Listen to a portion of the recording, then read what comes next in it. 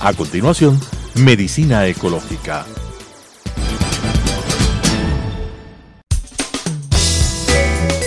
Clasificación A. Apto para todo público.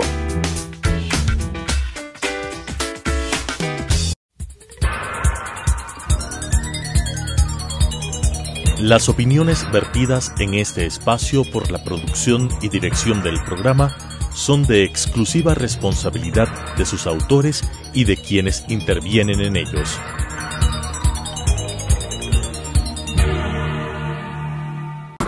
Telesucesos Canal 29 UHF presenta Medicina Ecológica, un nuevo enfoque de la salud pública diseñado especialmente para mejorar la salud de todos los habitantes en armonía con la naturaleza.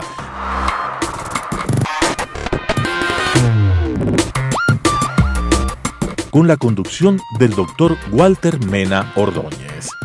Medicina Ecológica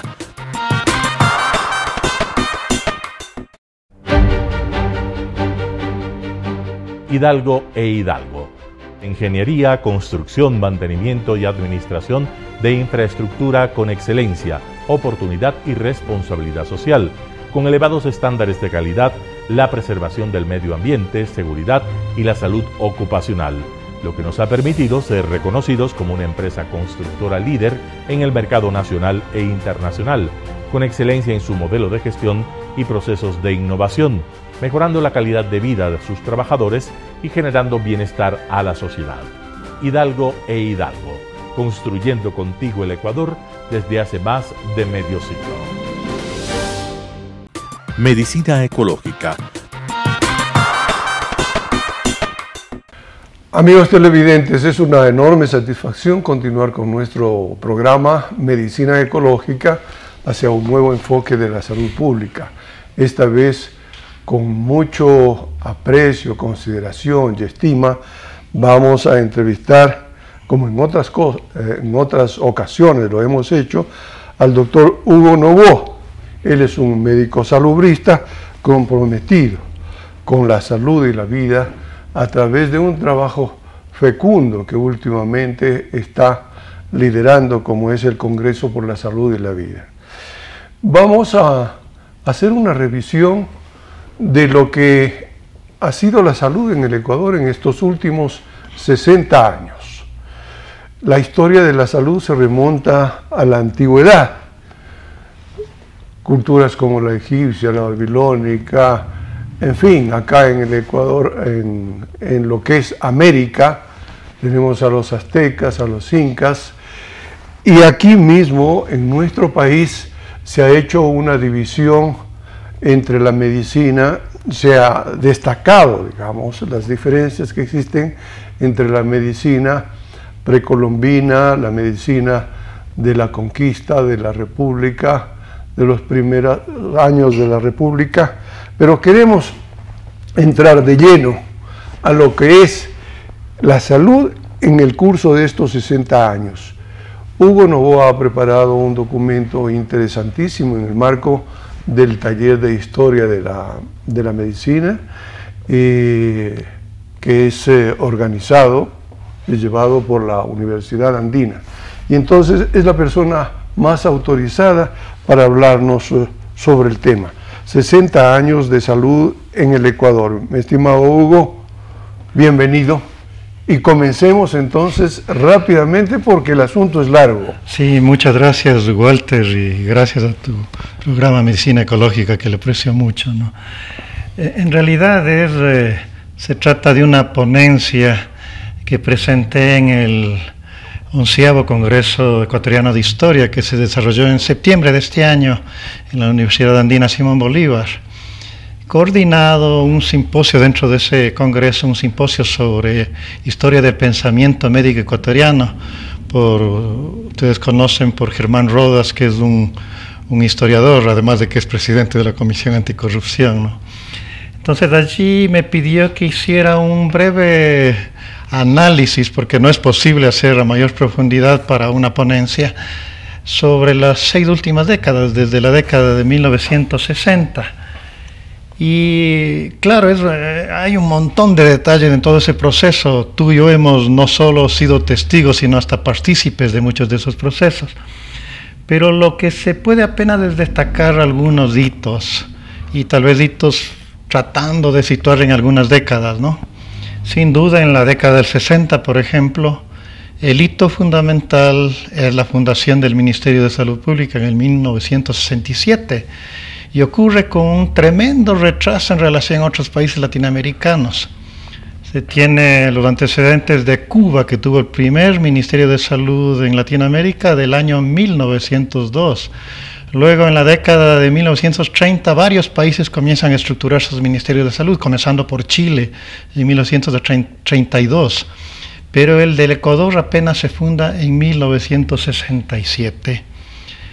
Y, es interesante, Eduardo Estrella, eh, en su libro eh, Medicina y Estructura Socioeconómica, señala claramente que había que hacer unos cambios en la, en la, medicina y en la salud ecuatoriana. Hasta ese momento, hasta antes del ministerio, fundamentalmente era importante eh, las acciones sanitarias, porque lo exigía así el, comercio internacional. Cuando se controlaba las epidemias en los puestos, no solo del Ecuador, sino de Latinoamérica y de otros países del llamado tercer mundo, lo, que les interesaba es que no les lleguen las plagas de enfermedades infecciosas, las epidemias, a, los países centrales de Europa o, de Estados Unidos. Entonces muchas de las acciones eran sanitarias y también, claro, se comenzó a hacer acciones sanitarias dentro de las ciudades.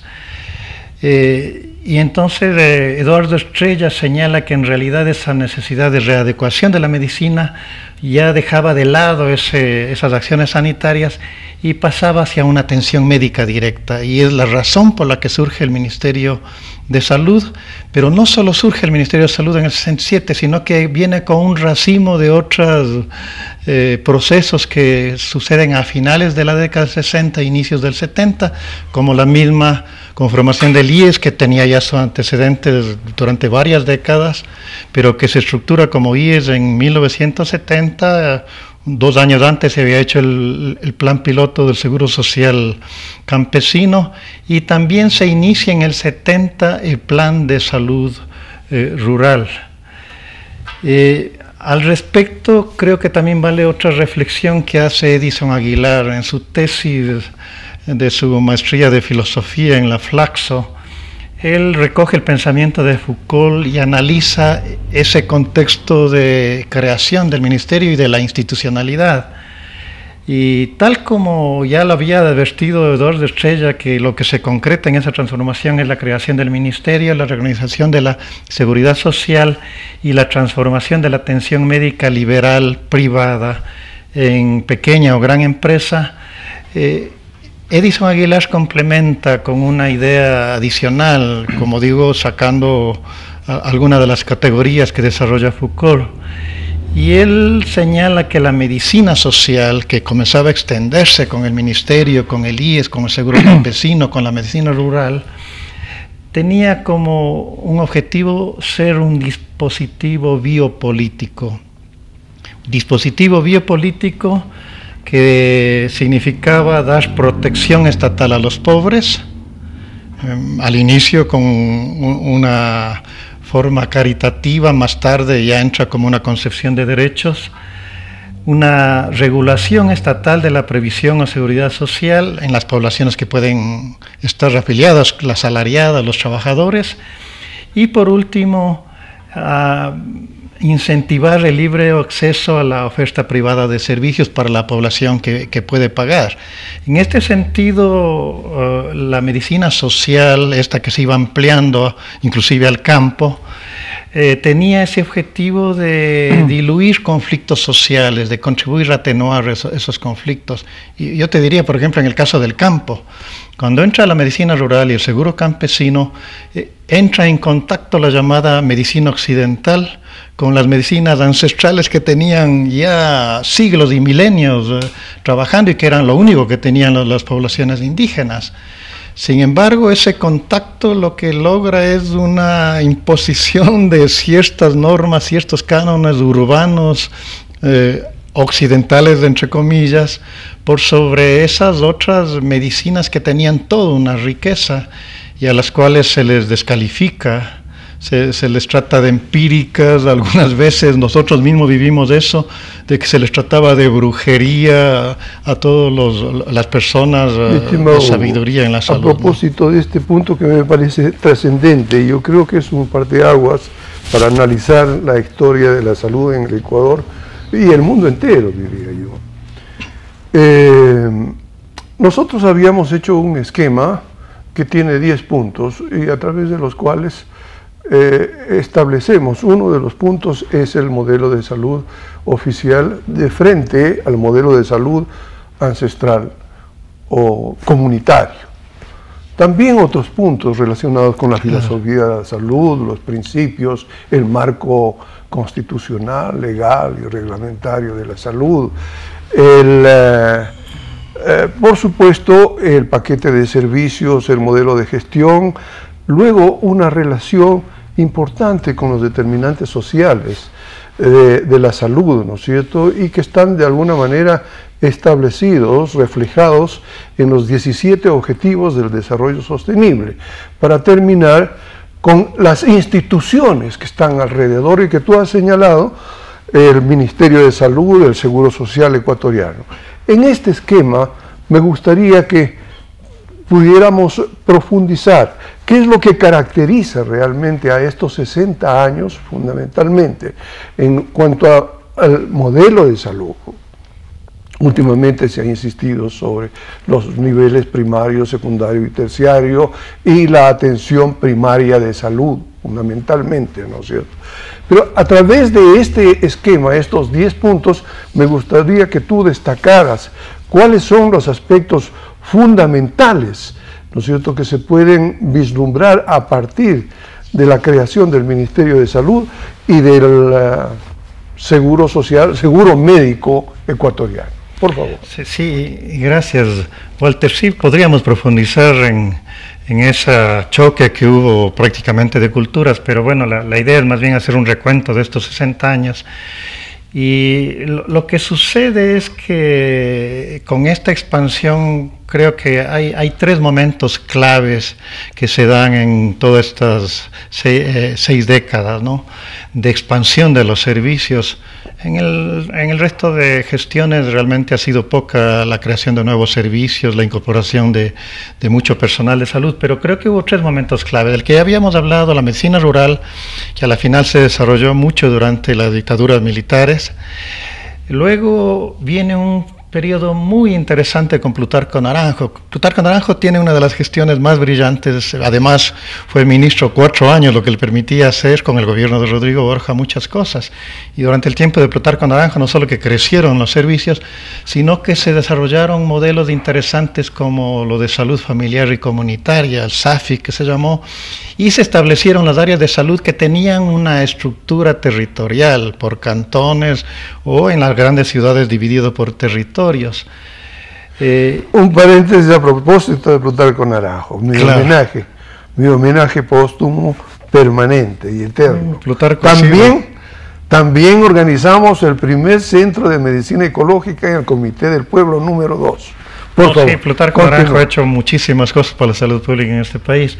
Y creo que el tercer momento, que a veces lo criticamos mucho, pero de mucha expansión, de mucho crecimiento, mucha inversión, fue el gobierno de Rafael Correa, porque fueron también 10 años, pero hubo muchísima inversión, yo creo que también hubo buena intención al crear el modelo de atención integral, el MAIS que le llamaron, incorporar a los, eh, a los técnicos de atención primaria de salud, los TAPS, sin embargo, claro, en el gobierno de Correa hubieron problemas porque se desarticuló las áreas, por ejemplo, y se reemplazó por una estructura ilógica de, zonas y distritos.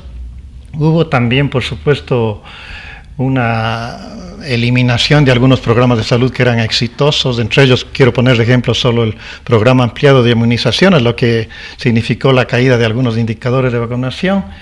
O también la eliminación de procesos de participación autónoma y persecución a dirigentes o a quienes no se alineaban con la, con la política del gobierno. Pero hay que reconocer que esos han sido los tres momentos más importantes de crecimiento. El plan de salud rural, especialmente durante las dictaduras de la década del 70, lo de Plutarco Naranjo, que es un referente, y lo del gobierno de Correa. Por ejemplo, yo diría, después del gobierno de Correa, con Moreno y Lazo, no ha habido nada, nada solo retrocesos, solo retrocesos. Y, te puedo poner ejemplos de esos retrocesos. Por ejemplo, uno, uno de ellos es el de que algún avance que había habido en regulación de industrias peligrosas como la de tabaco, alcohol, alimentos ultraprocesados, eh, más bien hacen un retroceso eh, disminuyendo los impuestos de estos productos cuando los mismos organismos internacionales recomiendan ir incrementando progresivamente porque de esa manera los niños, los adolescentes tienen menos acceso a estos productos que son nocivos, que los economistas les llaman males y no bienes. Pero otro ejemplo que te cuento es que retomaron con fuerza las intenciones de privatizar el IES y esto de hecho afecta a los servicios de salud. Una de las cosas concretas que planteó este gobierno de Lazo ha sido, por ejemplo, lo de la externalización de las farmacias, que es una forma ya de privatización. Pero mismo el proceso de privatización viene desde antes y también tiene sus, sus hitos durante el gobierno de Correa. Yo diría que los procesos de privatización vienen impulsados por las políticas del Banco Mundial y, y del Fondo Monetario Internacional.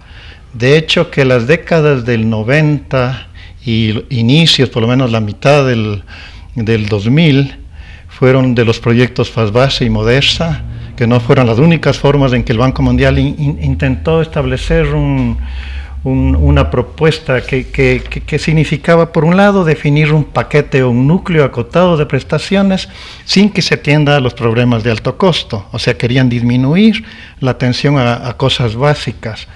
El segundo, establecer un mercado de prestadores públicos y privados que vendan servicios y quién les pagaría con fondo común hecho con fondos públicos del ministerio, otros públicos y los de la seguridad social, por ejemplo.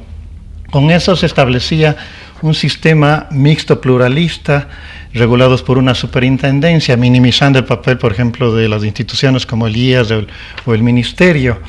Y eso no solo se intentó con el FASBAS y Modesa, se intentó durante el gobierno de Alfredo Palacio con, entre comillas, modelo de aseguramiento universal, pero que era la inclusión de estas propuestas del Banco Mundial, y volvió a intentarse en el proceso constitucional de 2008 eh, con, con, un nombre de Sistema Único de Salud Ecuatoriano, pero que tenía esos mismos preceptos del Banco Mundial, y nuevamente durante el gobierno de Correa, algunos funcionarios de nivel medio intentaron nuevamente estableciendo tarifarios, por ejemplo, fragmentando la atención de los niños que ya era integrada y fragmentándole en, pequeñas atenciones cada una de esas valoradas, tal como planteaba la lógica del Banco Mundial, no viéndole a la salud como un derecho, sino con la lógica financiera.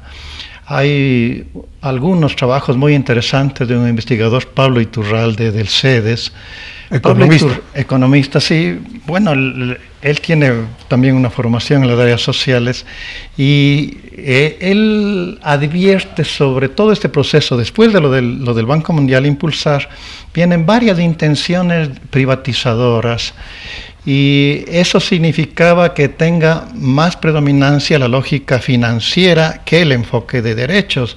Y se promovió la monopolización por un lado y también la transferencia de dineros tanto del ministerio como del IES hacia las redes de, de, hospitales y clínicas privadas. Muchos de ellos crecieron enormemente durante el periodo de, Correa, que, ya se comenzó, pero continuó en los, en los siguientes gobiernos. Pero sin duda, la, cosa que ha sido como, como que el, el, botín principal al que quieren llegar es al IES. Pretenden privatizar al IES y en las pretensiones del IES, no solo lo que ya te señalaba de la externalización de las farmacias, sino que eh, pretenden poco a poco ir desprestigiando al IES, desprestigiando entre ellos los servicios de salud, acelerando su crisis. La deuda creo que este momento es más de 10 mil millones, pública y privada, algunos estiman en 12 mil millones, está desfinanciado el fondo de pensiones jubilares, pero eso lo han hecho a propósito, para desprestigiar y favorecer un proceso de privatización. De hecho, entre las en esta, eh, yo quisiera hacer un paréntesis, Tú nos has dicho, hay tres eh, eh, etapas importantes a juzgar en el desarrollo de la salud en el curso de estos 60 años. La primera es el desarrollo de la medicina rural, el trabajo de Plutarco Naranjo y lo que hizo Correa, ¿no es cierto? Pero en lo que hizo Correa, y, esta es mi interrogante, ¿no? Bueno, se estableció una red de salud, ¿no es cierto?, con grandes hospitales, ¿sí? que costaron tres y cuatro veces más. El mantenimiento de un hospital de estos es tremendamente elevado, de tal manera que se amortiza en el curso de los cuatro y cinco primeros años, según estándares internacionales. El mantenimiento de estos hospitales, entonces es un ojo de la cara, frente a la atención primaria de salud, que se la ha descuidado absolutamente. No, de acuerdo, de acuerdo contigo, Walter. De acuerdo, no, yo soy crítico con el periodo.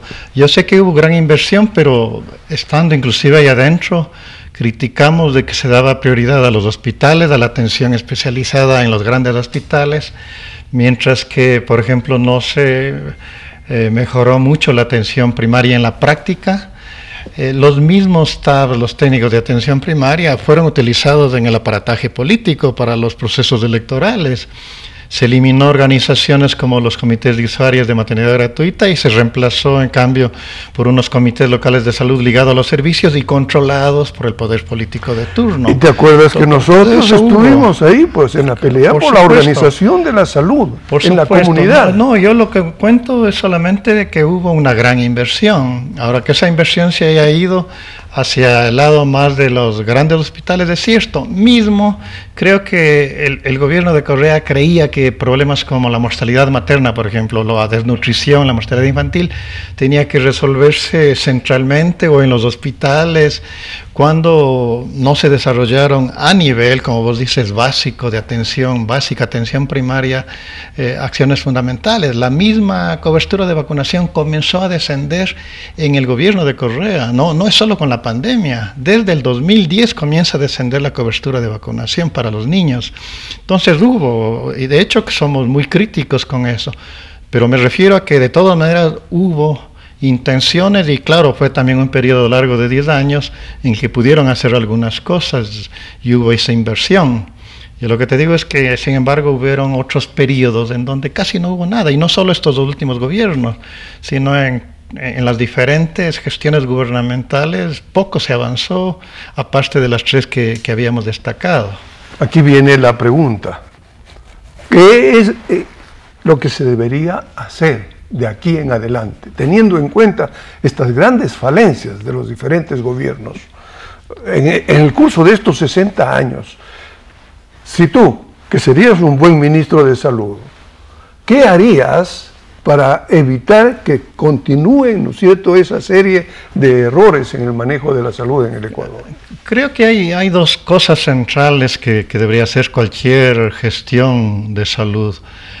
La una es proteger lo público, y proteger lo público significa proteger la institucionalidad del ministerio, otras instancias públicas y de la seguridad social, no solo del IES, del, del, seguro de las Fuerzas Armadas, de la policía, y ahí hay que tener en cuenta que seguridad social, el seguro social campesino ha sido un ejemplo relevante, no solo en el Ecuador, en América Latina, de un modelo participativo, comunitario, no es una afiliación individual, sino colectiva de comunidades que viene a ser un nuevo hito de, trabajo solidario. Eso es el, un tema, hay que defender lo público y entre ellos significa dar más recursos para salud, ni siquiera se ha cumplido el 4% que define la Constitución. Nos han, nos han dicho que se terminó el tiempo, pero yo quisiera aprovechar este uno o dos minutos para que nos digas en la misma tónica de la pregunta que te acabo de hacer. ¿qué harías tú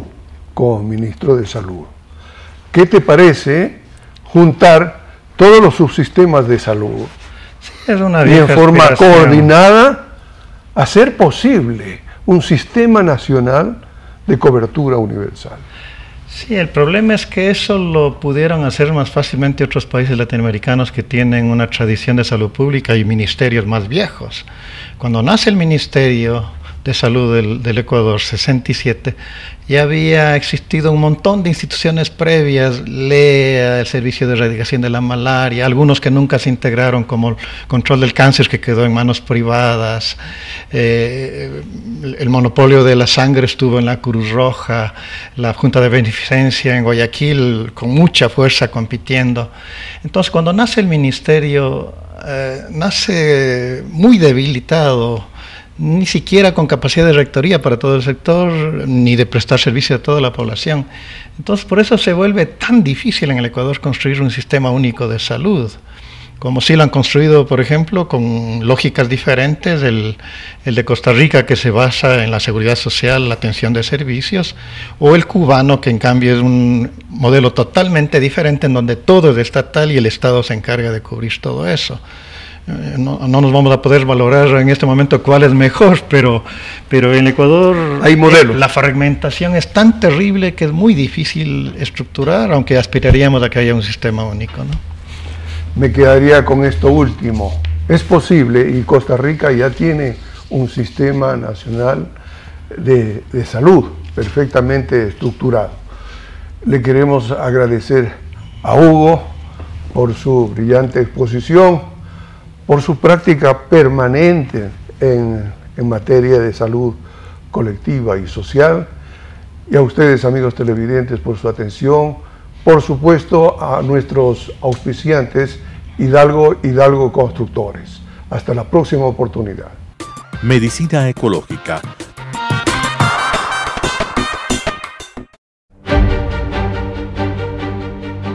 Hidalgo e Hidalgo Ingeniería, construcción, mantenimiento y administración de infraestructura con excelencia, oportunidad y responsabilidad social, con elevados estándares de calidad, la preservación del medio ambiente, seguridad y la salud ocupacional, lo que nos ha permitido ser reconocidos como una empresa constructora líder en el mercado nacional e internacional, con excelencia en su modelo de gestión y procesos de innovación mejorando la calidad de vida de sus trabajadores y generando bienestar a la sociedad. Hidalgo e Hidalgo, construyendo contigo el Ecuador desde hace más de medio siglo.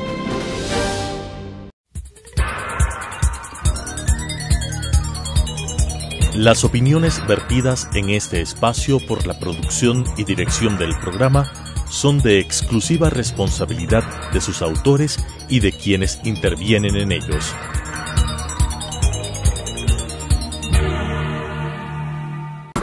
Telesucesos Canal 29 UHF presentó Medicina Ecológica, un nuevo enfoque de la salud pública diseñado especialmente para mejorar la salud de todos los habitantes en armonía con la naturaleza.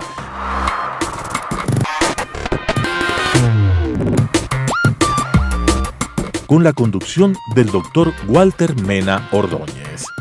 Medicina Ecológica